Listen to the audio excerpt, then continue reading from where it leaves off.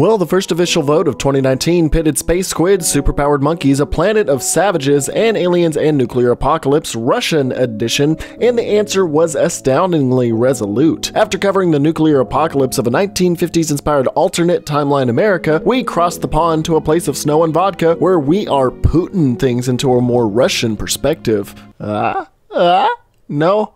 Alright, throw in the meme. There. Now laugh! Laugh! Laugh for Mother Russia! Now that we've broken the ice, we are finally taking things out of an American perspective, considering most Doomsday movies, books, games, and other media show what is going on in America. So it's a bit refreshing to check out the other side of the world. This week, we cover the Fallout Communism Edition, Darth Vader's irradiated twin, This is Bad Country, Don't Fire Till You See the Whites of Its Eyes, a scenario you did not see coming. The music scene here is totally underground, moldy popcorn that really the evil incarnation of the spirit bomb, rats and wolves and bears and my dead uncle, oh my. Attempting to Google it will give you a lesson in metrosexuality, completely awesome look at post-nuclear Russian life itself. This week, we tell you why you wouldn't survive Metro's post-apocalyptic wasteland.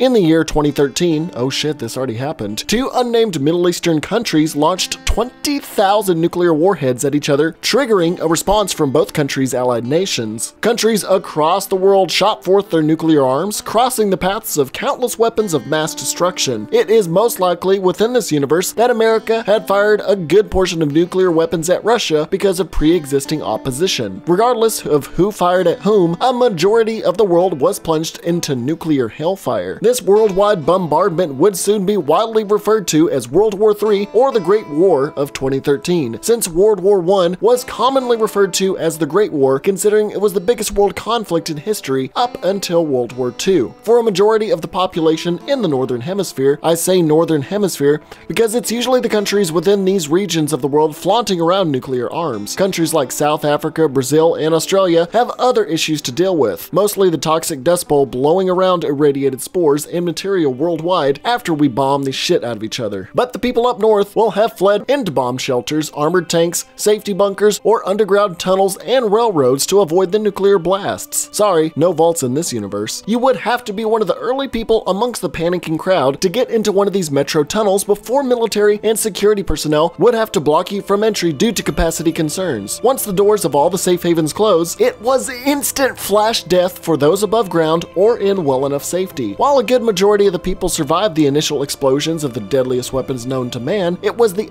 aftermath that took the largest count in the death toll. Surprisingly, billions of people managed to survive the blast, but nuclear winter proved to be a challenge a large majority of humanity would not be able to weather. The nukes intoxicating the air, blocking out the sun, and irradiating large amounts of land, water, and wildlife. Plants could not gain the nutrition of the sun, and if they weren't killed off by the nukes and radiation, the halting of the photosynthetic process sure did. The air being so radiation filled, only a few moments of exposure would prove lethal, and for those staying below ground, rations would run thin, leading to riots and starvation of the masses. Although the radiation did mutate a large number of remaining plants, animals, and even humans that survived. Some chemical attacks, like those detonated over Warsaw, the capital of Poland, weren't nearly as destructive. However, it did release extreme amounts of radiation that tortured all those within its radius as humans and animals slowly melted into into a pile of goo, while plants were cindered into a black dust. Some areas did experience acid rain, becoming another threat in warm weather, corroding metals, woods, and organic matter with each shower. Since living on the surface of this irradiated planet is out of the question, even with adequate proper hazmat suits and oxygen supplies, living with intricate tunnel systems known as the metros will be the only option for long-term survival. With how immediate the evacuation was to the metros, the amount of supplies were thinned out. Guns would mostly be newly made, with pre-war gun manufacturers scrounging together few old world guns while creating new types of submachine guns from what materials were available. The only live animals for meats that were brought underground were pigs and chickens, becoming the most common food sources as you can see in most settlements owning multiple pig pens. However, eating all these animals would exhaust their food supply before they could reproduce more, so the metro civilizations would also make do with eating mushrooms, rats, and sometimes potatoes if a group established a greenhouse. So if you are vegan, get ready for an all mushroom diet if your area doesn't have a tater hut, aka a greenhouse.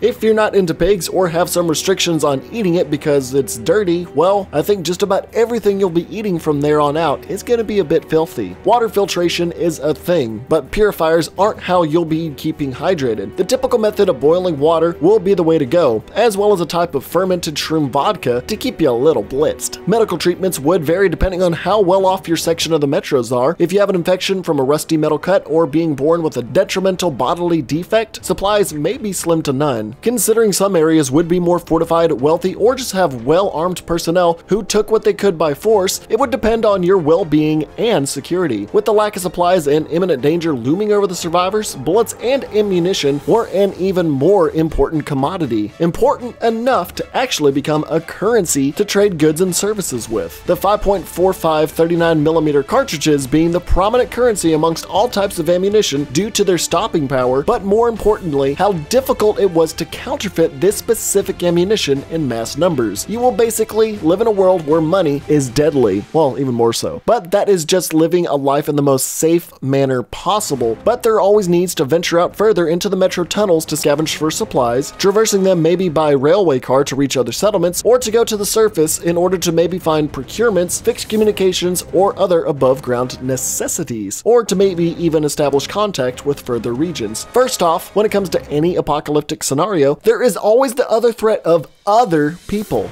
The most prominent of these factions being the Commonwealth of the Stations of the Ring Line, or the Hansa, basically keeping order among sovereign stations, regulating trade points, and bolstering a force of 4 to 5,000 soldiers. They are basically the closest form of government considering how many sanctions and threats they administer on a regular basis. However, disregarding their rules could result in being fired upon or imprisonment. The Ranger of the Order, in which Metro's main character Artyom aligns with, act as a veritable police force, or Spartan protectors as they like to call themselves, within the Metro and are quick to kill any hostile forces considering the violent factions and creatures that adorn these tunnels. They usually originate from the Polis and work in a morally gray area. Now the Polis being a veritable library of Alexandria that contains multitudes of pre-war technology, literature, and overall knowledge that all factions acknowledge as a necessity to not tarnish even with the most violent factions. That way humanity can progress no matter who is leading. It also resides in the center of the metro system and would cause catastrophic consequences for trade to all if it was destroyed. In a society where tunnels are the only way to reach each other, choking out the centerpiece of this network would prove to harm everyone in the long run, especially considering what kind of knowledge would be needed to continue as a society, and also the trade routes that would be completely destroyed if this was done. One of the most dangerous groups rising from the smoldering ashes of the Nazi idealism, the Fourth Reich, did emerge after the bombs fell, led by a new Fuhrer who rejuvenated the policies of Adolf Hitler into scared, weak, and bewildered civilians, promoting racism, and now with the advent of mutants, xenophobia, by making sure all of their members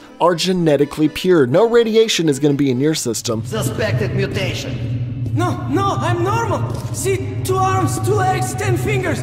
Don't you understand? I'm a Hansa citizen. Shut up! You're not in Hansa. Here you are a suspect in the distribution of corrupted genes. And this is your trial. If your skull has the correct proportions, you are free to go. If not, you are an abomination. They train their soldiers of between 2 to 3,000 extensively with high tech and weaponry, actively fighting all factions they oppose on a regular basis. If you're not deemed fit enough to be within their perfect world order or reject their ideals even slightly, they will most likely execute you on the spot. Alongside idealisms that were dominant in the yesteryears of Russia and Europe, the mentalities of communist Russia were also the Red Line, whose members idolized Stalin, Lenin, and Karl Marx. Possessing the Red Line of the Metro, hence the namesake, the oldest and most nostalgic area to revel in their glory days, the group bolsters a population of 15,000, half of which are somewhat trained in armed combat. This group will often quarrel and be feuding violently with the Fourth Reich. However, more so, a military leader in their group, Korbut, sieged and took control of the D6 governmental facility in order to use biological weapons to seize control of the entire Metro. Yeah, he's gonna be fighting dirty with dirty bombs. The reason I bring up these factions in somewhat detail is that in order order to survive, you would need to ally with one of these societies in order to just get by. Falling in line with the ideologies of either the final solution of the Fourth Reich, the controlling, censoring, and repression of the Red Line, the militarism of the Rangers of the Order, or being a security officer or a civilian in the Commonwealth. This will be a condensed version of world events crammed into a dank tunnel system, fighting humans as you can and surviving the best you can against others, and the even more deadly creatures creeping beyond the lights of society. Survival in numbers is the only way of existing in this world, lest ye be devoured, slaughtered, or irradiated. Lurking within the metro system, you will find a litany of critters that wouldn't hesitate to flatline you, with the most common type being the Nosalis. Bipedal animals derived most likely from moles or even reptiles are extremely territorial and aggressive, who attack with shredding teeth and claws, but are primarily a threat as they travel and huddle in large herds. Their primary way of death dealing is just simply mauling you to death with their razor sharp fangs and claws. The normal versions can handle a few standard rounds of ammunition, however, they come in varying shapes and sizes. Darker and green variants being able to soak up a hell of a lot more damage and dish out even more, as with the female versions of the drones in Gears of War, the female of the Nosalis just tend to be more deadly, especially with the Rhino. Younger versions of these gals will sprout wings and move around at an even faster pace and unleash sonic blasts. That's right, they scream loud enough to pretty much disorient you. They use these sonic blasts to stun and dizzy you long enough to execute the kill. Once either matured or battle hardened enough, the alpha of these females will progress enough to become a rhino, able to lead packs of Nosalis and with their sheer mass will charge at enemies like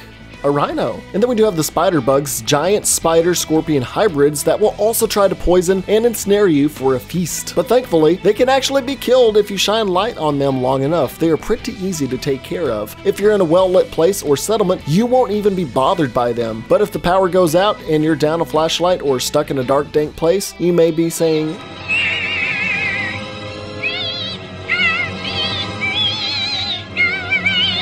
Lurkers are basically fearsome rats that work like the mole rats from the Fallout universe, burrowing to ambush prey, but tend to only come out of hiding when people aren't staring at their holes. They are much like rats and are hard to pinpoint as they scurry around, attacking and hastily retreating to their personally made burrows. Within concentrated radiation compounds like the ones found in D6, even more science experiments gone wrong will exist to exterminate you. A gigantic biomass, an abomination of humanity with tentacles producing psychoactive waves, will be protecting the reactor core and they use these psychoactive waves to lure in man and beast alike, forcing them to submerge themselves into its goop, and then they will slowly deteriorate into their, well, biomass, and they're going to be doing that a la the blob style. The creature also produces giant amoebas that flock in large numbers to hostile nearby personnel and explode. Rising to the upper crust of Earth, the surface will give home to the most deadly creatures of the entire franchise, on top of ungodly amounts of radiation.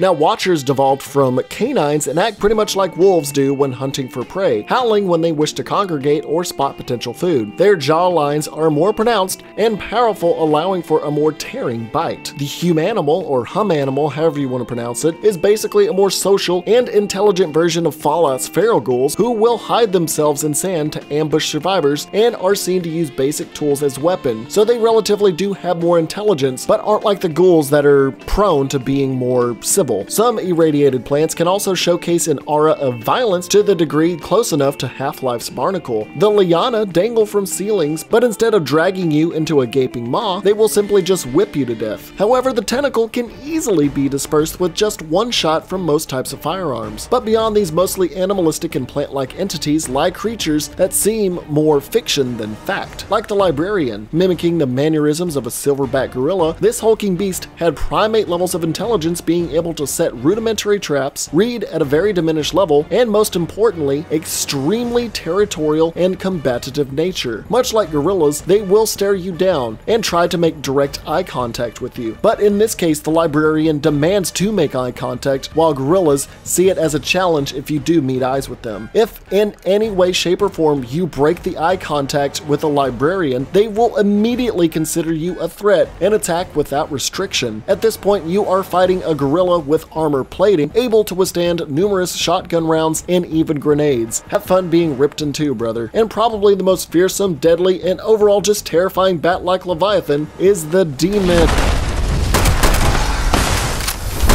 No, not that Skyrim Dragon reused asset from 76, this guy. Their genetic origin being unknown, most would assume it's just an irradiated bat, but also showing the leg characteristics of canines and felines as well. Regardless, its poor eyesight makes it rely on not echolocation, but enhanced forms of smell. If you're out in the open of the surface, this guy will either rip you in half, rip you apart, or sink its talons into you, fly you high in the air, and drop you as you fall to your death. Regardless, if he gets a hold of you and you're out in the open, you're a dead boy or girl. Interestingly enough, amongst the animal-like hordes resides the primary mutated antagonist of the Metro franchise, the Dark Ones. Former human beings that transformed from high amounts of radiation and survived becoming alien-like radiation-resistant creatures. Although they look like they would be a dangerous threat, they are actually a peace-seeking race of mutants that are proficient in telepathy and psychokinesis, all of which share one mind, they do have a collective consciousness, using their capabilities to turn people mad just by being in their close proximity, invoke a person's greatest fears, and watch them flee or turn on others, or be able to destroy an individual's mind just by simply trying to communicate with them, considering they can only communicate with telepathy, they cannot speak. They wish to create peace between them and humans as they are pacifists who lost the understanding of using and creating technology, but were given a heavy blow when humans destroyed their nest via missile strike. So relationships thinned out heavily, having only Artyom to rely on as the chosen one due to his immunity to their mental abilities. They have been able to transcend their physical forms and even project themselves as ghosts, which may lie into the afterlife of this world. There are even beings that defy the very laws of science or nature. Radiation can't even explain these. Ghosts of recently deceased may be discovered trying to reach the afterlife, although lost souls who wander the metros mostly unaware their demise like the damned souls who drag the living down with them in their denial. However, these specters could be byproducts of the Dark Ones and other mutants using their psychic abilities to manipulate humans into killing themselves, others, or distracting the remaining masses. There is also sightings of a giant blue ball of light known as the Anomaly, which will also be found hovering around the tunnels and, if approached closely enough, will instantaneously send millions of volts coursing through your system, causing immediate death. It's unknown if it's a supernatural occurrence or a freak assembly of randomly occurring conditions, but regardless, do not get anywhere near this ball. I realized I discussed a large amount of creatures, but it's to display just how screwed you are. Surviving the nuclear blast, lasting with whatever resources you and those around you have for years during the fallout of the bombs,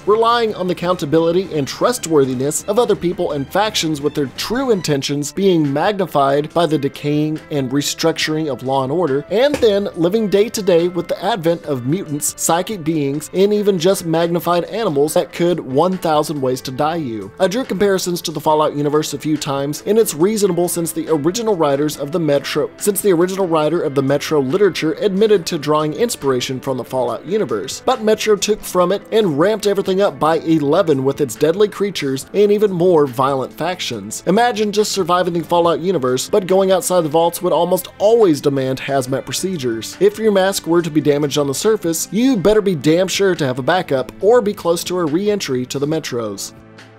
Trying to survive on the not so healthiest of foods while scrounging together whatever meds you can is just basic survival. However, coexisting with factions will be your primary concern when not dealing with the mutants of the metros. If you do not align with most of the factions and their beliefs, you can find yourself being beheaded by the Fourth Reich, or being turned into bullet-ridden Swiss cheese by the Red Line, or hell, maybe even shanked by some rogue bandit who wanted your three bullets to buy himself some Shumvutka. Like it or not, the idea of lone wolfing it ain't gonna fly in this universe. It is a necessity to live, work, and coexist with one of these factions and their respective stations. The only way you're going to survive outside these areas is with adequate radiation equipment, ammunition, supplies, and most importantly, the skills to utilize all of them effectively, or else You'll be food for a variety of your friendly neighborhood mutants. Spiders that can eat you alive in the darkness, an assortment of beasts that will swarm you and slash you to ribbons, or venturing out far enough to where literal science experiments could assimilate you. If you are the brave, adventurous, and naive type, the surface will most likely be your untimely end if you aren't dead by radiation poisoning or the giant creatures who basically challenge you in brute strength and with aerial and sound wave combat. These are all self-explanatory though, however just attempting to live with the Dark Ones ones would be out of the question. It's my hypothesis that most of the paranormal activity experienced by those in the metro is due to long distance exposure to the psychoactive effects of their brainwaves, how powerful their mind tricks are at close range. The Dark Ones seem to have things pretty well off when it comes to managing survival with any and all creatures besides humans, who actually fire upon them on sight when they see the Dark Ones. But who can really blame us humans when we see them? Every single mutated being that approaches us is out to kill, and these guys really don't look that much different from a distance as they try to attempt peace. However, just being in close proximity to them causes Dead Space cursor-like hysteria to where you could be killed by your loved ones, your allies, your enemies, or worse off, your own hand. And that's even when it's trying to be friends with you. Imagine if it were attempting to slaughter you, if it wanted to kill you. That won't be a pleasant brain blast. But canonically, the Dark Ones seem to attempt peace regardless, even if we bomb their race to near extinction and enslave their prodigal son in a circus. So if you think you could survive the elements, eating moldy potatoes, shrooms, and fried rat, the return of the Nazis and a deadly communist Russia, every single beast I mentioned, and not having a heart attack at just the plain sight of them, ascending the surface and not having a wardrobe malfunction that results in a central service system malfunction, being crushed by Teenage Mutant Ninja Harambe, or falling a few thousand feet, or think you cannot be tricked by images of your dead relatives, or think you have an IQ large enough to withstand the dark ones just hanging out nearby you. I have one thing to say if you think you could survive all of that nuclear post-apocalyptic wasteland, go play Fallout 76. That's about it. With Exodus releasing tomorrow and Steam missing out on the Russian Apocalypse revenue, what do you think of what's to come for the franchise once Exodus is out? Did I miss out on anything that should have been covered? Did I get some information incorrect? Correct me in the comments. I'm always open to talking about these. I'm always open to talk about this kind of stuff, and I want to make my channel better by being correct. Don't forget to support the channel by throwing a like and subscribe, and maybe a donation on my Patreon, or donate during a YouTube live stream for benefits and shoutouts. Which, shout out to Thank you for your generous donations to Wow Such Gaming. Before I go, I want to announce I'm going to start featuring fan art at the end of each one of these episodes. So if you want to showcase some of your fan art, send it to me at wowsuchgaming at yahoo.com. If you do end up getting featured on these videos, I will give you a $20 gift card to any store of your choice. I'm Zach S, aka Wow Such Gaming. Stay cheeki breeki, cheeki breeki.